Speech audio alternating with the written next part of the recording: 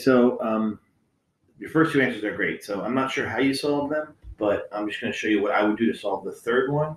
Uh, from so from this information, we have the, 19, the year 1950. These are the populations of Nebraska and Kentucky. Year 2000, these are the populations. So you can write this as two different um, coordinate planes.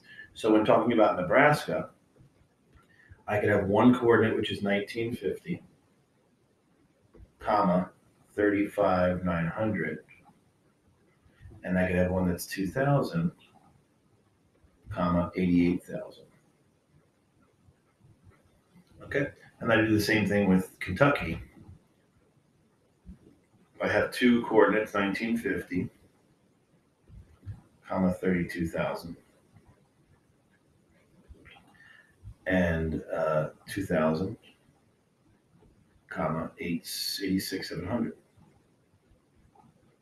So what I did was I used these two blue points to find the equation of the line for the population of Nebraska. I used these two red points to find the equation of the line for the population of Kentucky. And the question C says, uh, if we assume the linear trend existed before 1950 and continues after 2000, when will the two states' medians be equal? Well, that's what these values are. This is the population median. This is the population median. Okay, or median home value. So that's, that's what I'm not population, but median home value. So you can replace P with median home value by mistake. So I want to know when this value equals this value. So all I'm going to do is set this thing equal to this thing and then solve for t. So I'll have 10,000 42t minus 199 6,000 equals 1,094t minus 2101 300 and then you're going to solve for t. So I can start by, I'll subtract 1042 t from both sides, minus 1042t. So I get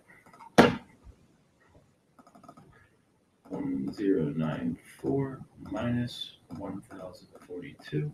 Whoops.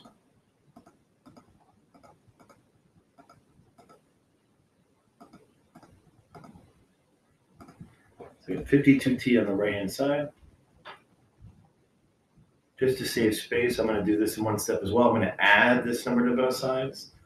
So I'll get negative 1,996,000 plus 2,101,300. So I get that on the right hand, on the left hand side, 105, 300. So this is 105, 300. Then divide both sides by 52 to get your answer. I'll divide by 52. Since your answer might be absurd, so I assume that's what we'll mean. Actually, it's not that bad. So this is 2025 equals T. So according to our math, in the year 2025, the median home values of each of those cities will be the exact same. And that's it.